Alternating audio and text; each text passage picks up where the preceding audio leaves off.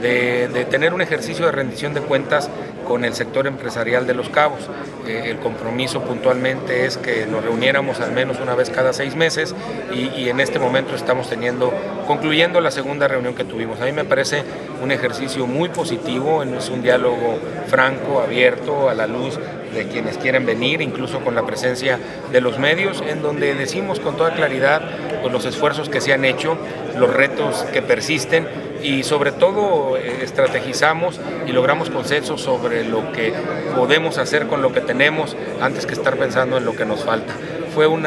diálogo, a mí me parece pues, muy interesante, muy completo y un ejercicio en el que yo me siento muy cómodo de estar en, en contacto directo y permanente con el sector empresarial de este, el más importante municipio del estado.